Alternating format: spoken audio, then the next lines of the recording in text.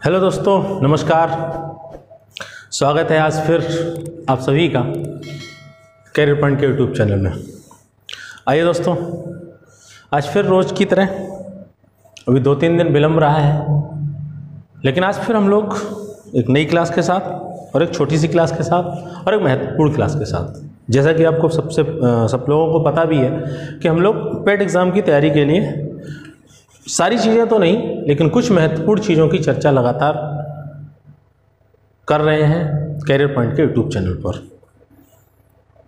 हाँ ये ज़रूर है कि सारा सिलेबस तो नहीं, लेकिन ज़्यादातर सिलेबस जो परीक्षा के दृष्टिकोण से सबसे ज़्यादा महत्वपूर्ण है, उसको हम लोग यहाँ पर लेकर आते हैं। और उसी श्रृंखला में आज जो हम एक क्लास लेकर आए हैं जिसको हमने जिस विषय को चुना है, वो भारत के भूगोल से है और पिछले, पिछली वाली क्लास भारत के भूगोल की पड़ी भी है। भारत की झीलें। किसकी चर्चा आज हम करने वाले हैं, उनका नाम है भारत की झीलें। तो उम्मीद है आप लोगों से कि आप लोग रोज़ की तरह आज फिर जुड़ गए होंगे। हालाँकि विलम्ब हो जाता है। भारत की झीलें। बीच बीच में गैप हो जाता है, गर्मी अधिक थी, इस कारण नहीं पढ़ा रहे थे। भारत की झीलें पढ़ेंगे और सीधी सीधी बात है बेटा, जब हम भारत के झील वाला टॉपिक पढ़ते हैं तो आप लोगों को पता ये होना चाहिए कि भैया बहुत सारी झीलें हैं। झीलों को पढ़ने के लिए अगर ठीक ठाक जब हम तैयारी करेंगे तो झीलों को कई भाग, कई वर्गों में बांट के पढ़ा जाता है। सबसे पहले, देखो, किसी भी एग्ज़ाम की तैयारी करने के लिए भारत महत्वपूर्ण है और उसके पैरेलल में विश्व भी चलता है तो विश्व की झीलें पढ़ेंगे और भारत की झीलें पढ़ेंगे लेकिन अभी तो हम केवल क्या पढ़ाने वाले हैं? भारत की झीलों को पढ़ाने वाले हैं। लेकिन खास तौर से ये बात सुन लो कि जब हम झीलों का टॉपिक बड़े स्तर से किसी व्यक्तिगत परीक्षा की तैयारी जब करेंगे तो उसमें आपको झीलें पढ़नी पड़ेंगी, वहाँ आपको झीलें ऐसे पढ़नी पड़ेंगी, प्राकृतिक झीलें होती हैं। तो प्राकृतिक कुछ भारत की और कुछ विश्व की।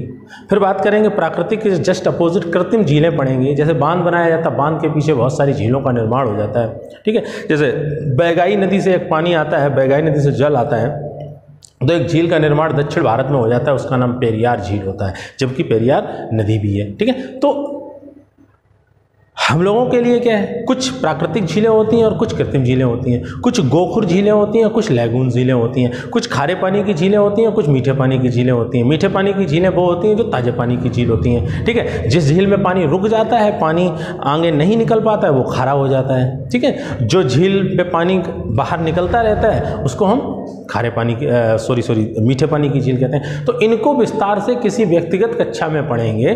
जब किसी एग्ज़ाम का कोई सिलेबस में जब विस्तार से टॉपिक होगा, भारत झील है। लेकिन अभी हम पेड एग्ज़ाम की तैयारी कर रहे हैं। जीएस का पोर्सन जीके का पोर्सन बहुत ज़्यादा है, लेकिन छोटे छोटे छोटी छोटी क्लास में हम आपको कोशिश करेंगे, जब तक एग्ज़ाम होगा, बहुत सारे पॉइंट करा दें। तो आज की क्लास का महत्वपूर्ण जो विषय है, वो है भारत की झीलें, ठीक है? भारत की झीलों में महत्वपूर्ण उन दस झीलों की बात करेंगे, और कुछ बेसिक जब मैं दस पढ़ाऊँगा, आपको पता है मेरे पढ़ाने का तरीका।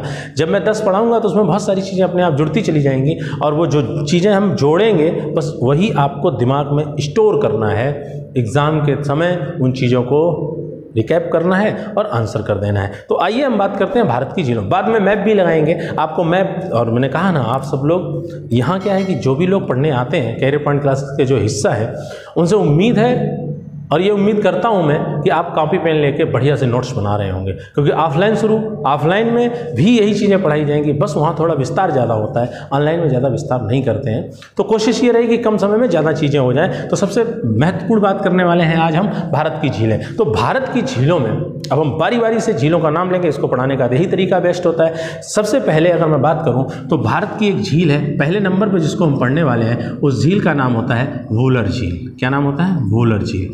अब आपके जैसे ही आपने नाम सुना, वूलर झील आपके दिमाग में तुरंत से आ गया होगा और बहुत सारे लोग, मेरे, हमसे पढ़ने वाले बहुत सारे लोगों को इसका आंसर भी पता होगा। जल्दी से आप कमेंट बॉक्स में कमेंट कर दीजिए कि भारत में एक झील है जिसका नाम है वूलर झील और वो कहाँ है। तो वो कहाँ है? आप कमेंट करिए अपनी जगह पर और हम यहाँ पे लिखते हैं, वो जम्मू कश्मीर में है। तो भारत में वूलर झील कहाँ है? जम्मू कश्मीर में। देखो बेटा, ये पारंपरिक तरीके से अगर देखें कि एग्ज़ाम में जो जैसे पहले पेपर होते रहे, छोटे स्तर की परीक्षाओं में सीधा सीधा आ जाता है कि भैया बूलर झील भारत के किस राज्य में है?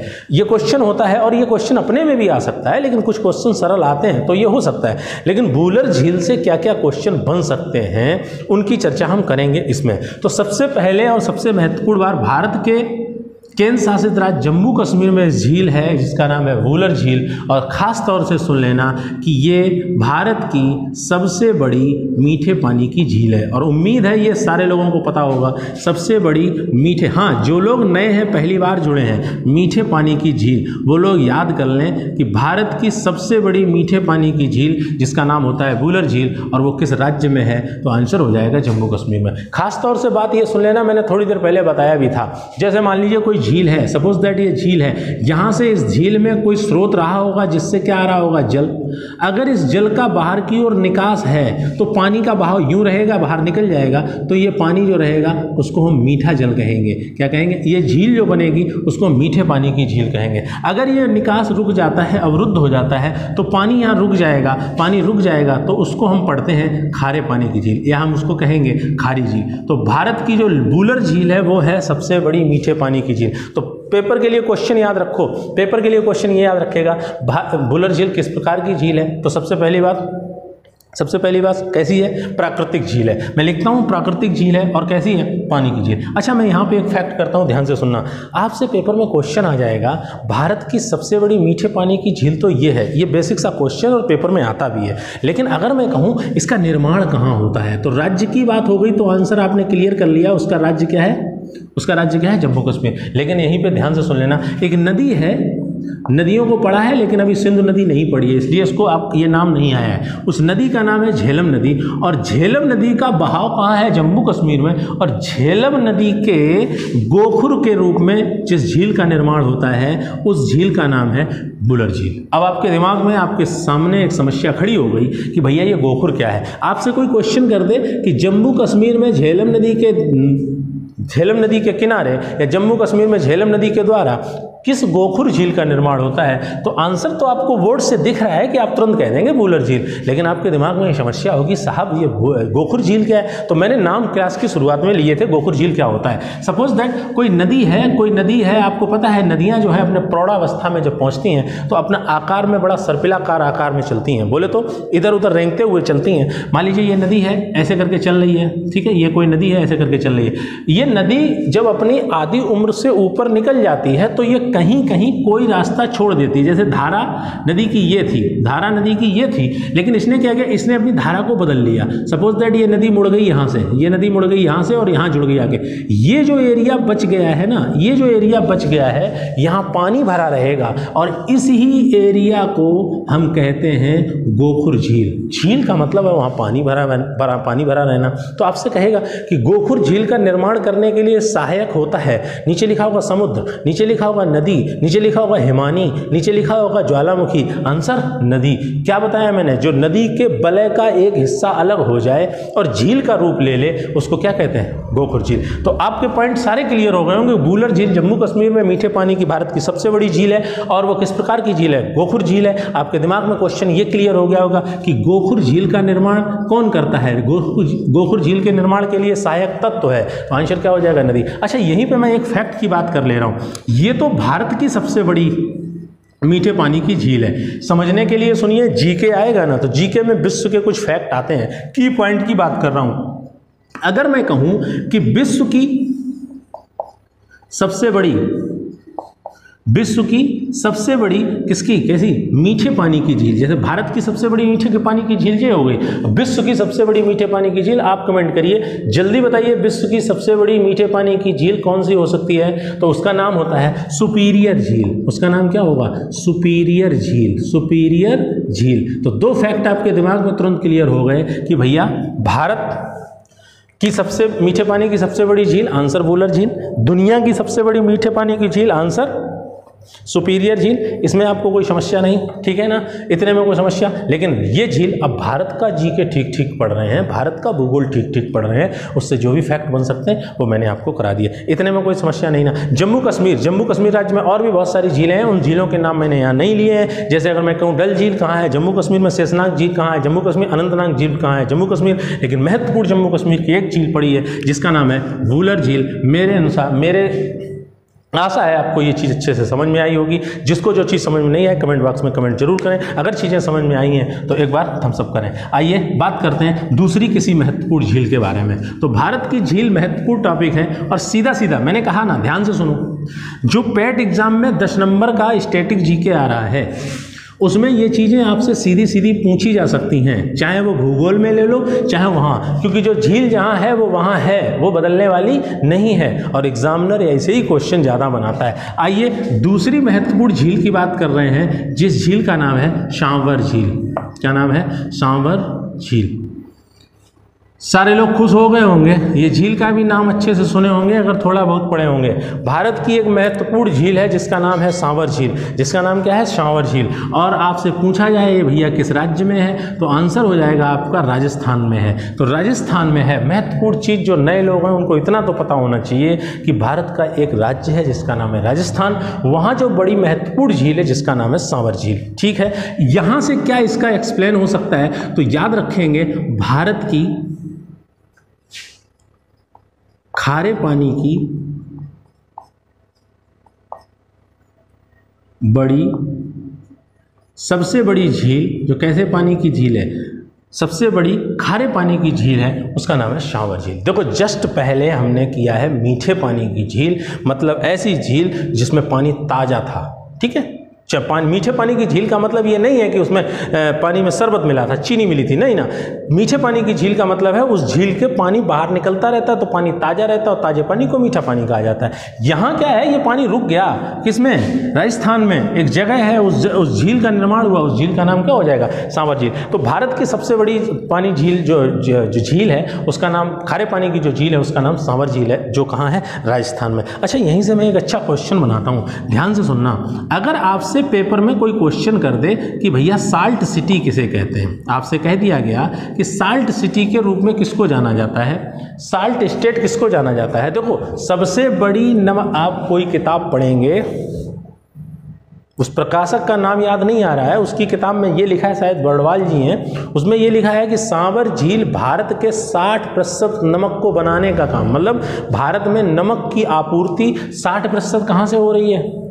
कहाँ से हो रही है? सांवर झील से। कहाँ से हो रही है? सांवर झील से। लेकिन अब वो कहाँ तक प्रमाण सही है? लेकिन जहाँ तक मुझे पता है, वो ये है कि साल्ट सिटी, बोले तो नमक की सिटी, किसे कहते हैं? वो गुजरात को कहते हैं। देखो, किताब कह रही है कि सबसे ज़्यादा नमक बनाने का काम कौन करता है? सांवर झील। हाँ लेकिन ये ध्यान रखना, झीलों में सबसे ज़्यादा नमक बनाने का काम कौन करती है? झीलों में, सारी झीलों में सबसे ज़्यादा नमक। झीलों से मान लीजिए सौ नमक आ रहा है, कोई यूनिट मान लो, उसका साठ हिस्सा कहाँ से आता है? शावर झील से। लेकिन नमक क्या से सिर्फ़ झीलों से बनता है? समुद्र तट से भी बनता है। और सबसे लंबी समुद्री तटीय एरिया किसके पास है? गुजरात के पास। तो साल्ट सिटी के नाम से जानते हैं किसको?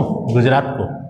लेकिन सबसे बड़ी नमकीन झील जानते हैं किसको? सांवर झील को। और पिछले टाइम पे पढ़े थे ना नदी? नदी वाला टॉपिक पूछा गया था, नमक की नदी किसे कहते हैं? तो लूनी नदी को। पता है ना आपको अरावली के अरावली पर्वत श्रेणी के नाग पर्वत से निकलने के बाद कच्छ के दलदल में जो खो जाती है, उस नदी का नाम लूनी नदी होता है। वो नमक की नदी है, ये नमक की झील है और ये नमक का शहर है, उस राज्य का नाम गुजरात है। इतने में किसी को कोई समस्या? नहीं ना। अच्छा अगर समस्या नहीं है, यही मैं एक फैक्ट बता दूँ, भैया, विश्व विश्व की झील, विश्व की झील। अब हम पढ़ के आ रहे हैं खारे पानी की। तो विश्व की सबसे बड़ी खारे पानी की झील कौन सी हो जाएगी?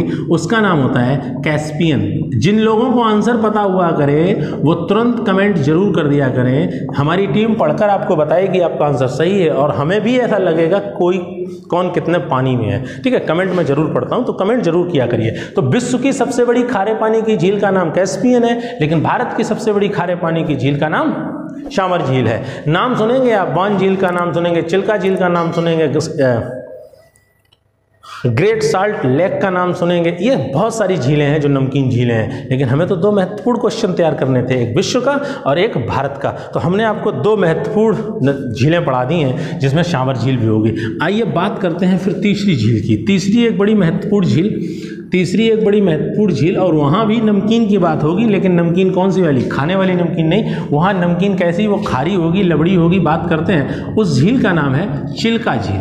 क्या नाम है? चिल्का झील।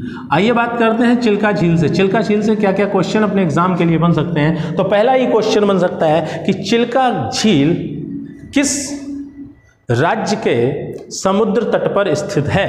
चिल्का झील भारत के किस राज्य के, अब स्वाभाविक है, समुद्र तट कह दिया है तो भारत आपके दिमाग में ऑप्शन घूमने लगे हुए गुजरात, महाराष्ट्र, गोवा, केरल, कर्नाटक, तमिलनाडु, उड़ीसा, पश्चिम बंगाल, आंध्र प्रदेश। इनमें से वो कौन सा, इनमें से वो सॉरी इनमें से वो कौन सा राज्य है जिसके समुद्र तट के किनारे, समुद्री तट के किनारे एक झील है जिसका नाम है चिल्का झील। और एक चीज़ बताऊँ, समुद्र तट के किनारे है तो ये झील तो कैसी होगी? लवड़ी झील होगी। तो बताएँ, और मैं बताता हूँ, वो चिल्का झील जिस राज्य के तट पर है उस राज्य का नाम उड़ीसा है। उस राज्य का नाम क्या है? उड़ीसा है, ठीक है? याद रखेंगे। देखो, ये भी झील कैसी है? ये भी किस, कैसी झील है? लबड़ी है। कैसी झील है? लबड़ी है। कैसी झील है? लबड़ी। अच्छा जिन लोगों को लबड़ी नहीं समझ में आ रहा तो ये झील नमकीन है। ये झील कैसी है? नमकीन है। मतलब इसका पानी कैसा है? खारा है। तो ये लबड़ी झील है। अब जस्ट पहले, इससे पहले हम सांवर झील पढ़े थे, वो भी कैसी थी? लबड़ी झील। वहाँ क्या पढ़े थे? भारत की सबसे बड़ी लबड़ी झील तो आंसर सांवर झील। लेकिन अब क्वेश्चन ध्यान से सुनो। भारत की, यहाँ पे मैं आगे लिख देता हूँ, भारत की सबसे लबड़ी झील, ये क्या बवाल है? क्षेत्रफल के आधार पर सबसे बड़ी झील है, जिसका नाम था सांवर। है कैसी? खारे पानी की लबड़ी। लेकिन वो बड़ी है, किसके आधार पर क्षेत्रफल के आधार पर लेकिन यहाँ क्या है? यहाँ पूछा गया है कि पानी का खारापन तो पानी की जो लबड़ीयता है, वो उसका क्या कहलाता है? खारापन। तो भारत की वह कौन सी झील है जिसका पानी सबसे ज़्यादा नमकीन है। जिसका पानी सबसे ज़्यादा नमकीन है, उस झील का नाम क्या है? चिल्का झील। तो दोनों क्वेश्चन में आप कंफ्यूज नहीं होंगे। भारत की सबसे बड़ी खारे पानी की झील सांबर झील, लेकिन भारत की सबसे लबड़ी झील? आंसर चिल्का झील। खारे पानी की सबसे बड़ी झील राजस्थान, लेकिन सबसे लबड़ी झील का राज्य? उड़ीसा। इतने में कोई समस्या? नहीं ना। ये जो झील है, स्वाभाविक सी बात है, ध्यान से सुन लो। ये जो झील है, ये झील जो है, इस, ये इसको अगर पढ़ेंगे तो ये कैसी झील है? लेगून झील है। कैसी झील है? लेगून झील है। अब लेगून क्या होता है? देखो, इससे पहले मैंने आपको गोखुर बताया था। अब भैया, गोखुर है, गोखुर झील का निर्माण करने वाला तत्व कौन सा था? नदी। तो वो कैसी हो गई? कृत्रिम की प्राकृतिक। तो आप आंसर तुरंत होगा कैसा? प्राकृतिक। ठीक है? ऐसे ही जब कोई समुद्र है, मान लीजिए कोई समुद्री एरिया है, कोई समुद्री एरिया है, उसमें पानी भरा है, समुद्री एरिया है, कोई पानी भरा है, इस समुद्र के किसी तट पर कोई उथला सा हिस्सा है, जहाँ क्या होता है? पानी स्वाभाविक है, उथला हिस्सा है, चाहे गहरा हिस्सा हो, अगर समुद्र है तो वहाँ पानी पहुंचेगा पानी पहुंचेगा। मान लीजिए इस वाले हिस्से में भी पानी है थोड़ा थोड़ा क्योंकि ये गहरा है और इस वाले हिस्से में पानी थोड़ा कम है। किसी कारणवश, प्राकृतिक कारण के कारण इस समुद्र से और इस हिस्से से बीच में कोई बालू की मान लीजिए दीवार बन गई या बालू का कोई एक ऐसी आ, क्या कहें अवरोध बन गया, जिससे इधर का पानी इधर नहीं आ रहा है तो ये जो समुद्र का एरिया इस अवरोध के कारण अलग हो गया। यहाँ भी तो पानी भरा रहेगा, और पानी हमेशा रुका रहेगा। पानी अगर हमेशा रुका रहेगा, और जहाँ पानी भरा रहता है, उसको हम कहते हैं क्या? झील। और वो जो झील बनेगी, समुद्र से किसी एक, समुद्र के किसी हिस्से से अलग होकर किसी झील का निर्माण होता है, उसको हम कौन सी झील कहते हैं? लेगून झील। तो लेगून झील भी कैसी होगी? और याद रखना, भारत में या दुनिया में कहीं भी लेगून झील का ऑप्शन हो और पूछा जाए कैसी झील है? तुरंत आप कहेंगे कैसी होगी? लबड़ी क्योंकि समुद्र क्योंकि समुद्र के द्वारा ही तो लेगून झील का निर्माण होता है। तो वो झील कैसी होगी? लबड़ी तो भारत की सबसे लंबी सॉरी सबसे बड़ी तो सांबर लेकिन सबसे लबड़ी झील तो आंसर चिल्का झील। चिल्का झील किस प्रकार की झील है? लेगून झील। और लेगून झील कैसी झील होती है? प्राकृतिक झील होती है। इतने में किसी को समस्या नहीं होना चाहिए। हाँ ये चीज़ याद रखना, जो उड़ीसा में चिल्का झील है, वो एक मछली के उत्पादन के लिए प्रसिद्ध है। उस मछली का नाम है झींगा मछली। उसका नाम क्या होता है? झींगा मछली। तो पूछा जाए चिल्का उड़ीसा की चिल्का झील किसके उत्पादन के लिए प्रसिद्ध है? तो तुरंत आपका आंसर हो जाएगा। झींगा मछली के उत्पादन के लिए प्रसिद्ध है। तो हमने तीन महत्वपूर्ण झीलें पढ़ ली हैं, जिसका नाम हो गया, एक तीसरी महत्वपूर्ण थी, जिसका नाम हो गया चिल्का। तो आप मेरे हिसाब से आप नोट कर रहे होंगे, और उम्मीद भी है कि हम पॉइंट आपको बिल्कुल नए नए देने की कोशिश कर रहे हैं। जिन लोगों ने थोड़ा बहुत पढ़ा है, वो अपनी चीज़ों को दोबारा से रिवाइज करिए और जिन्होंने नहीं पढ़ा है, वो कापी पेन से नोट्स बनाइए। बहुत ज़रूरी है नोट्स यही आपका हथियार है। यही नोट्स रूपी हथियार से ही आप किसी भी जंग को जीत सकते हैं। आपको कारगिल में लड़ने नहीं जाना है। आपकी जंग सिर्फ़ और सिर्फ़ एग्ज़ाम है और एग्ज़ाम क्वालिफाई करना स्वाभाविक सी बात है। वो आपके लिए किसी जंग को फतेह करने के बराबर है। तो आपका हथियार है, पेन, कापी और नोट्स। उसके सहारे से आइए, आगे बात करते हैं। चौथे नंबर की झील पढ़ते हैं। जिस झील का नाम है लोकटक झील। क्या नाम है? लोकटक झील। इस झील का नाम है लोकटक झील। तो मेरा क्वेश्चन यही है, आप जितने लोग यहाँ पढ़ रहे हैं। सब लोग जल्दी से बताएँ कि लोकटक झील भारत के किस राज्य में है? लोकटक झील भारत के किस राज्य में है? आप जल्दी से आंसर करें। मैं करता हूँ आंसर। लोकटक झील भारत के एक पूर्वोत्तर राज्य में है, जिस पूर्वोत्तर राज्य का नाम है मणिपुर। अच्छा मैं यहाँ पे लिखे दे रहा हूँ। आपसे पेपर में क्वेश्चन आ जाए कि पूर्वोत्तर राज्य की सबसे बड़ी झील पूर्वोत्तर राज्य के सबसे बड़ी झील पूर्व पूर्वोत्तर राज्य की सबसे बड़ी झील तो आंसर आपका हो जाएगा लोकटक झील। वो भारत के किस राज्य में है? तो वो भारत के मणिपुर राज्य में है। मणिपुर आपको पता होता है, मणिपुर कहाँ होता है? तो मणिपुर, बिल्कुल जब आप म्यांमार। उधर चलेंगे ना, अरुणाचल प्रदेश अरुणाचल प्रदेश नीचे की तरफ़ बढ़ेंगे तो जो म्यांमार से सटा हुआ होता है, उसको क्या कहते हैं? बाद में मैप लगाएँगे, उसको क्या कहते हैं? मणिपुर। तो मणिपुर राज्य की एक झील है, जिसका नाम है लोकटुक लोक, लोकटक झील। इसमें आपको किसी को समस्या नहीं होनी चाहिए, ये बेसिक सा फैक्ट है। अच्छा इसकी मैं डिटेल क्या दे सकता हूँ आपको? अच्छा यहाँ से एक बहुत बेहतरीन क्वेश्चन बनता है। ध्यान से सुनना, ये जो झील है, वो दुनिया की एकमात्र तैरती झील है।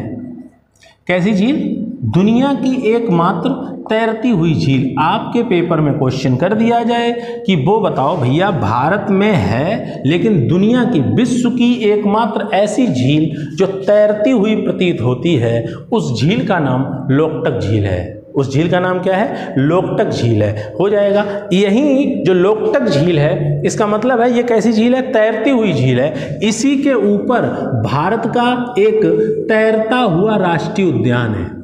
क्या नाम है? तैरता हुआ। आप कमेंट करके बताइए, भारत का एकमात्र तैरता हुआ राष्ट्रीय उद्यान जो कि लोकटक झील पर स्थित है, उसका नाम कमेंट करिए। तैरता हुआ राष्ट्रीय उद्यान। तैरता हुआ राष्ट्रीय उद्यान। उसका नाम क्या है? मैंने आपसे पूछा है, और वो है कहाँ? ये पक्की बात है, वो मणिपुर राज्य में है, किस झील पर है? लोकटक झील पर उसका नाम होता है काबुल लामजाऊ। क्या होता है?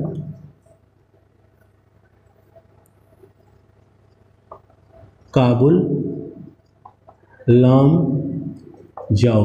भारत का एकमात्र तैरता हुआ राष्ट्रीय उद्यान, नेशनल पार्क जो तैरता हुआ राष्ट्रीय उद्यान है, उसका नाम होता है काबुल लाम जाओ। किताब में कैबुल लाम जाओ भी कहीं कहीं लिखा तो कंफ्यूज नहीं होना, आपके याद करने के लिए पर्याप्त है।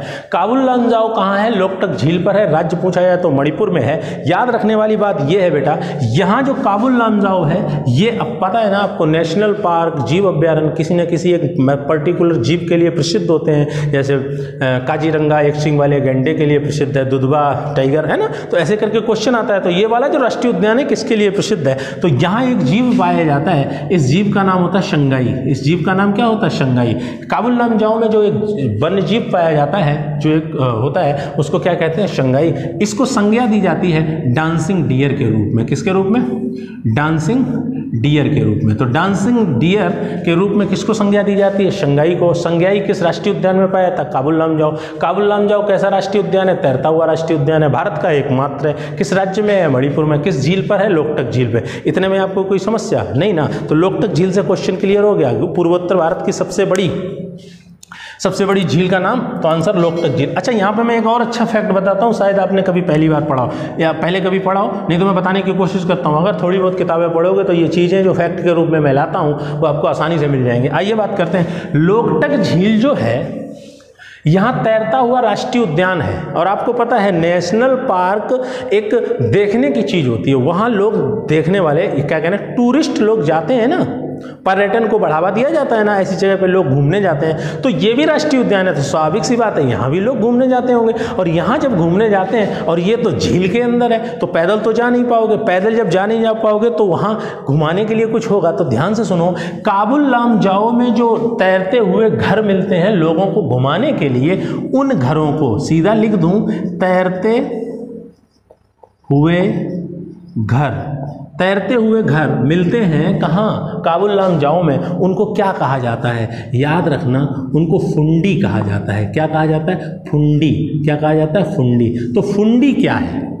आपसे पेपर में क्वेश्चन आए, फुंडी क्या है? है ना? ठीक ठाक पेपर दोगे यूपी टेट वाले, ध्यान से सुनो, अगर यूपी टेट टेट वाला यहाँ कोई जुड़ा हुआ है तो पर्यावरण में आवास एक चैप्टर होता है, वहाँ से क्वेश्चन आता है। फुंडी क्या है? तो तैरते हुए घर, जो कहाँ मिलते हैं? जो मणिपुर में मिलते हैं, किस राष्ट्रीय उद्यान में? काबुल लामजाओ में। यहाँ तक बात की। अच्छा मैं थोड़ा और डिटेल देता हूँ। आप यहाँ लिखता हूँ।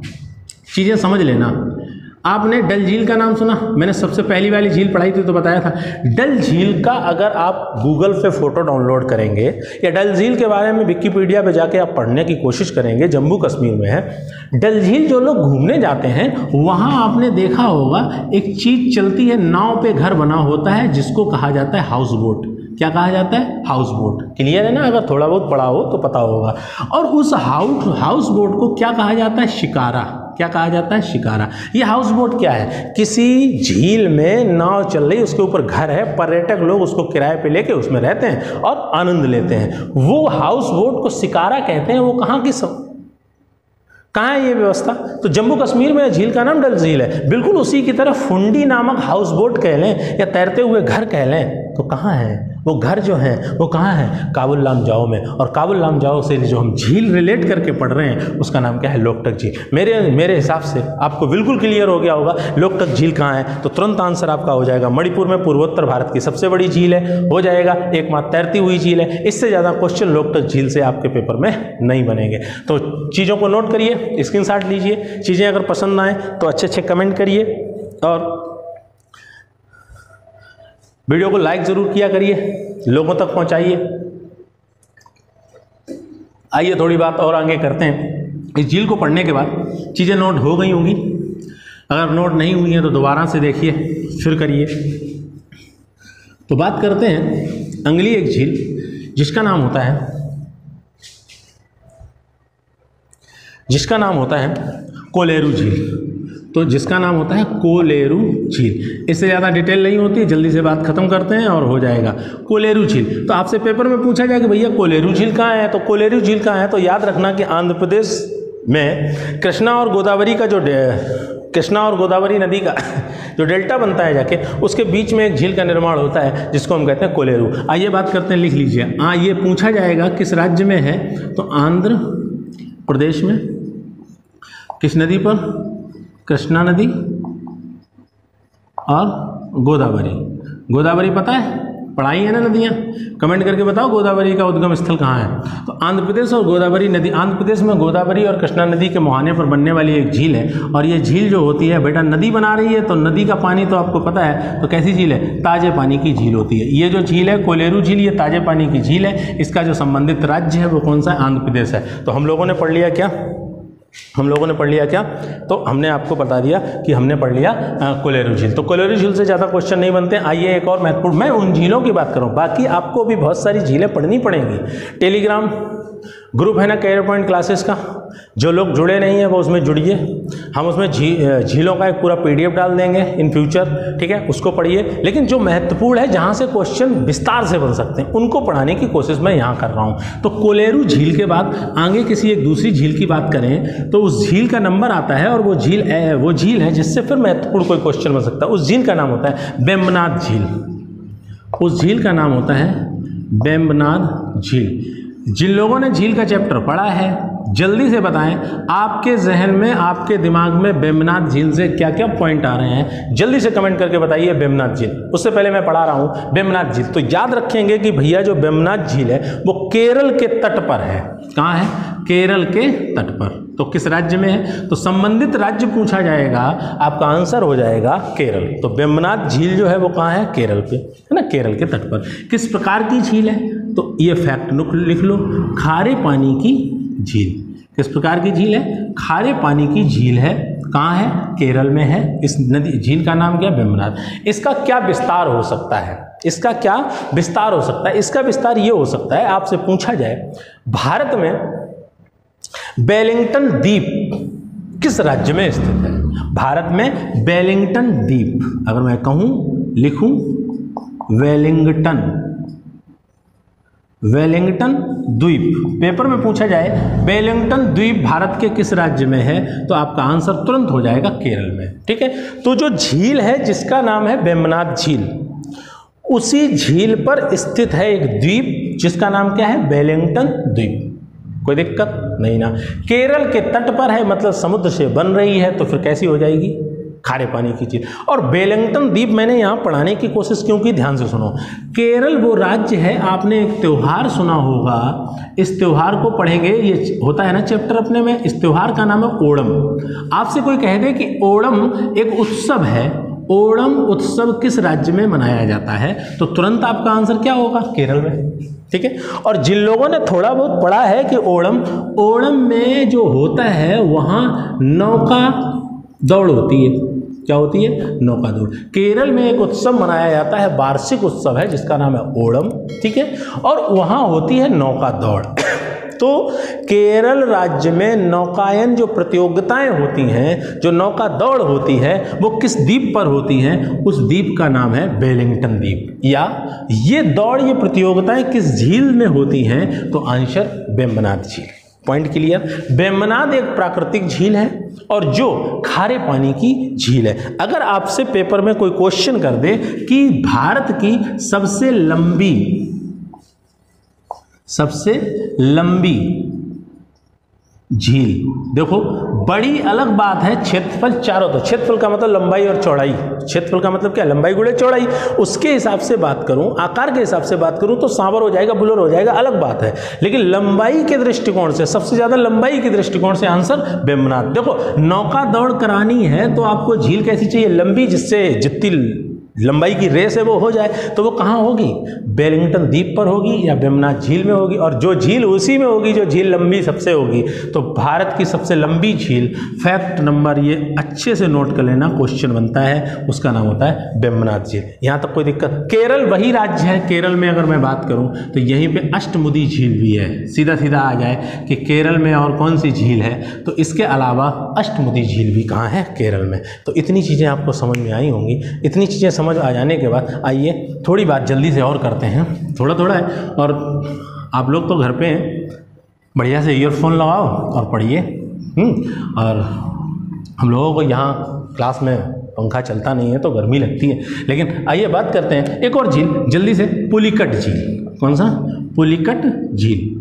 और जुड़े रहेंगे आप लोग, अंत तक देखा करिए, क्योंकि यहाँ फालतू की चीज़ें बिल्कुल नहीं है। जो चीज़ें इंपॉर्टेंट हैं, वही पढ़ा रहे हैं, ठीक है? फालतू की चीज़ें तब होती हैं, आपको पता है, जब चैनल बड़ा हो जाता है तो बड़े गुरुजी वाली फीलिंग आने लगती है। तो फिर क्या है कि फिर बातें मारो लंबी लंबी लेकिन अभी क्या है, हमें पढ़ाना है सिर्फ़, और ये इसलिए पढ़ाना है कि लॉकडाउन लगा हुआ था सारे लोग जुड़ नहीं पा रहे। थे उन लोगों के लिए जो हमसे जुड़े हुए थे, उनकी सफलता के लिए सिर्फ़ ये चीज़ें चल रही हैं। तो एक झील है, जिसका नाम है पुलकट झील। इसको भी याद रखेंगे, ये पुलकट झील भी है ये भी भैया कहाँ है? आंध्र प्रदेश में। पुलिकट झील कहाँ है? तो आंसर हो जाएगा आपका आंध्र प्रदेश। पुलिकट झील कहाँ हो जाएगा? आंध्र प्रदेश। ठीक है?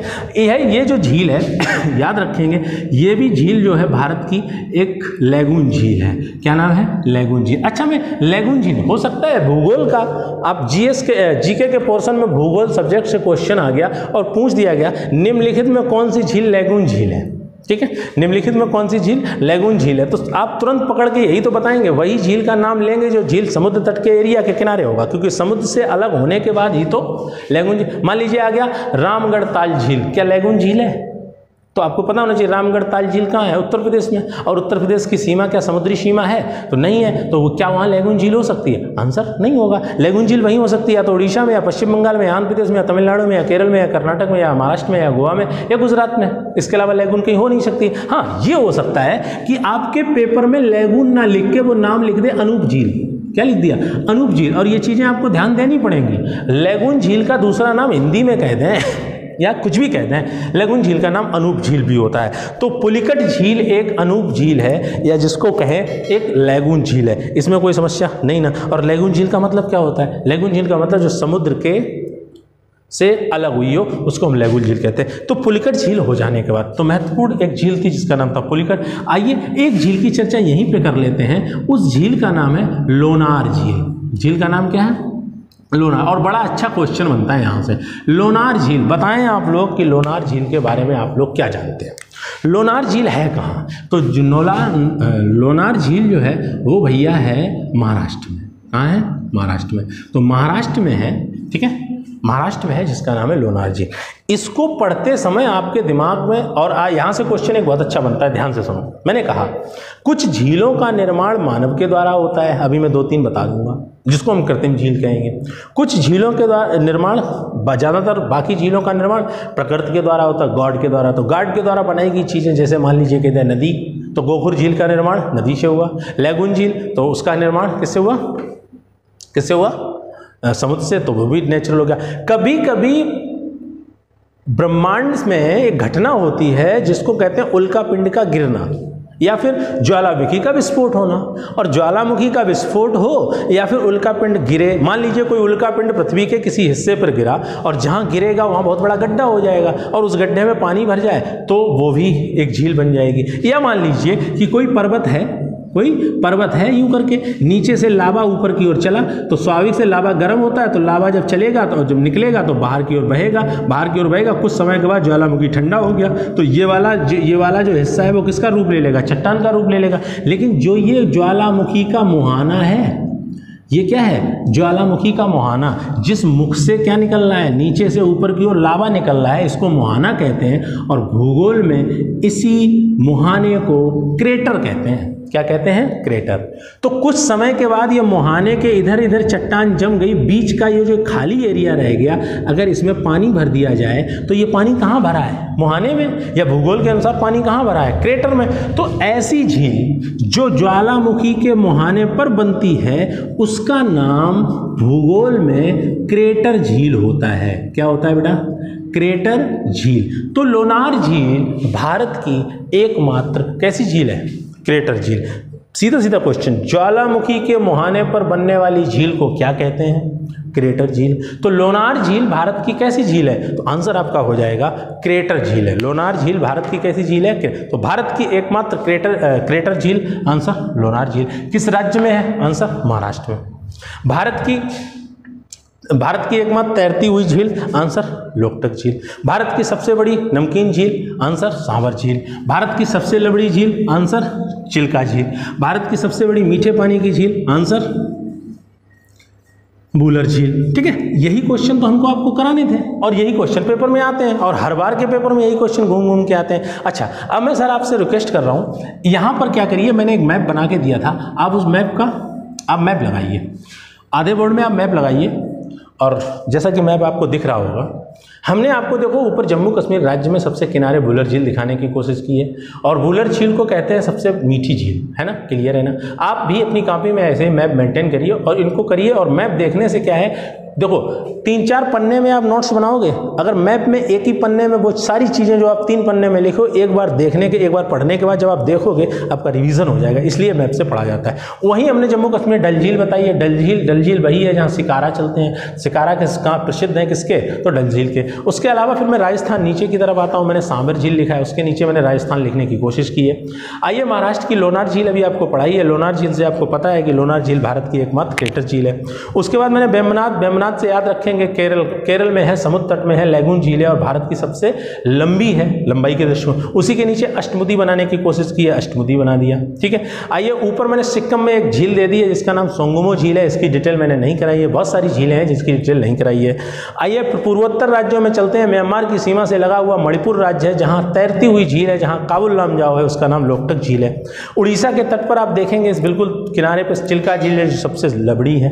आइए, आंध्र प्रदेश और तमिलनाडु की सीमा पर स्थित है, जिस झील का नाम पुलिकट झील है तो आपके दिमाग में, आपके जहन में हमेशा के लिए ये चीज़ फ़ीड हो जानी चाहिए, कौन सी झील कहाँ है, उसकी क्या विशेषता है। तो इतनी चीज़ें कर लेने के बाद, आइए, एक मिनट और आपका खराब करता हूँ। खराब नहीं करता हूँ, आपको लिए एक मिनट में बहुत ही महत्वपूर्ण जानकारी देने वाला हूँ। तो लास्ट में दो मिनट और रुकिए, सारी चीज़ें आपकी हो जाएँगी। कुछ चीज़ें मैं अलग से लिखी हैं, वो चीज़ आप कर लीजिए। ये तो मैंने कुछ महत्वपूर्ण पॉइंट लिखे थे। अच्छा मैं यहाँ से कुछ फैक्ट के रूप में लिखता हूँ। भारत में एक ऐसी झील है, जिसको मनोकामनापूर्ण झील कहते हैं। भारत की एक ऐसी झील, जिसको मनोकामनापूर्ण झील कहते हैं। जल्दी से कमेंट करके आप लोग बताइए, किस झील को मनोकामनापूर्ण झील कहते हैं भारत में? ठीक है? अच्छा अगला फैक्ट मैं एक बनाता हूँ। विश्व की विश्व की सबसे प्रदूषित। ये क्वेश्चन आए हुए हैं, घटना चक्र की अगर बैक ईयर पेपर की कोई किताब हो तो वहाँ से क्वेश्चन मिलते हैं। विश्व की सबसे प्रदूषित झील आंसर करें। विश्व की सबसे प्रदूषित झील, जिसको आंसर मालूम है, आप कमेंट बॉक्स में कमेंट करिए। तो विश्व की सबसे प्रदूषित झील जो है, वो बताइए। इसके अलावा, अगला फैक्ट लिखता हूँ। पाँच फूलों वाली झील। पाँच फूलों वाली झील। पाँच फूलों वाली झील, या इसी को कहते हैं विभिन्न रंग वाली झील, या इसी को कहते हैं पवित्र झील। कौन सी झील है? नाम बताइए। ये भारत में नहीं है, दुनिया के किसी हिस्से में है। बताएँ आप जल्दी जल्दी कमेंट करिए। तीन क्वेश्चन का आंसर करिए। मनोकामना भूड़ मनोकामनापुर झील। मनोकामनापुर झील की बात करूँ तो ये भारत के सिक्किम राज्य में है, जिसको हम कहते हैं खेचे ओपारी झील। क्या कहते हैं? खेचे ओपारी झील। नाम नहीं सुना होगा, ध्यान से सुन लो। मनोकामनापुर झील, जिसका नाम खेचे ओपारी है, वो भारत के सिक्किम राज्य में स्थित है। हो जाएगा? कितने में किसी को कोई समस्या? सबसे प्रदूषित झील, इस झील का नाम होता है कराचिल झील। इस झील का नाम होता है कराचिल झील, और ये झील भारत के दुनिया के किस देश में है? तो उसी देश में है वो देश जो एशिया में भी है और यूरोप में भी है, उसका नाम रूस है, उस झील का नाम कराचिल झील। पाँच फूलों वाली झील या विभिन्न रंगों वाली झील या कहते हैं पवित्र झील, इस झील का नाम है बुछुआ झील। इस झील का नाम है बुछुआ झील।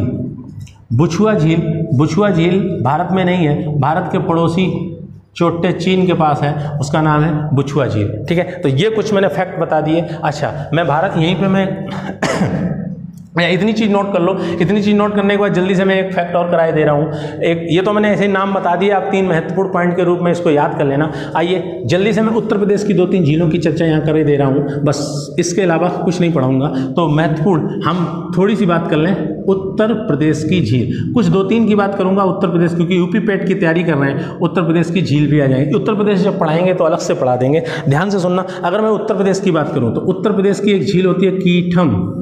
कीठम झील। उत्तर प्रदेश की कीठम झील का नाम तो ये कहाँ से होती है? इटावा। इटावा में। उत्तर प्रदेश के इटावा शहर में जहाँ लाइन सफारी है, वहाँ कीठम या कीठम झील होती है हो जाएगा। अगर आपसे कोई कहते इटौजा झील और करेला झील, कहाँ होती है? लखनऊ। इटौजा और करेला। करेला खाया जाता है। नवाबों की नगरी, नजाकत का शहर लखनऊ में होती है। ठीक है? इटौजा और करेला झील कहाँ होती है? लखनऊ में। अगर मैं मैं कह दूँ रामगढ़ ताल और चिलुआ ताल। इंपॉर्टेंट है पेपर में पूछा जा चुका है यूपी पुलिस में। रामगढ़ ताल और चिलुआ ताल। ताल लगा दो। ये वही है जहाँ गोरखनाथ का पीठ है। जहाँ के उत्तर प्रदेश के मुख्यमंत्री मुख्यमंत्री योगीनाथ योगी आदित्यनाथ जहाँ से संबंधित हैं, जहाँ नाग नाग संप्रदाय का मुख्य मठ है, वो जगह है जिसका नाम है गोरखपुर। तो गोरखपुर तो चिलुआ ताल और रामगढ़ ताल, चिलुआ चिलुआ ताल और रामगढ़ ताल झील कहाँ है? गोरखपुर। उत्तर प्रदेश की एक और महत्वपूर्ण झील जो पश्चिम बिहार के रूप में मेंटेन है, उसका नाम होता है सुरहा ताल। सुरहा ताल। इसका आंसर वही है मतलब भारत, उत्तर प्रदेश का वह जिला जो जिला पार करने के बाद सीधा बिहार लग जाता है। मतलब उत्तर प्रदेश का सबसे पूर्वी जिला, उत्तर प्रदेश का सबसे पूर्वी जिला, जिसके बाद बिहार शुरू हो जाता है। उस जिला का नाम होता है बलिया। उस जिला का नाम बलिया। ताल पश्चिम बिहार भी है। ताल पश्चिम बिहार किस ज़िले में है? तो आंसर क्या हो जाएगा बलिया? तो उत्तर प्रदेश की कुछ महत्वपूर्ण झीलें ये थी। मैंने आपको सारी चीज़ें करा दी हैं। जो जो महत्वपूर्ण मुझे लगा मैंने आपको कराने की कोशिश की है। तो आपको ये जानकारी कैसी लगी? कमेंट बॉक्स में एक बार ज़रूर बताएँ। आपको क्या पढ़ना है? कमेंट बॉक्स में एक बार ज़रूर बता दें। मैथ में कौन सा चैप्टर पढ़ना है? जीएस, जीके में आपका कौन सा विषय कमज़ोर है? कौन चीज़ की तैयारी नहीं हो पा रही है? बताइए। हम लोग पूरी पूरी कोशिश करेंगे उस चीज़ को आपके सामने प्रस्तुत करने के लिए। और आपसे लास्ट में रिक्वेस्ट है।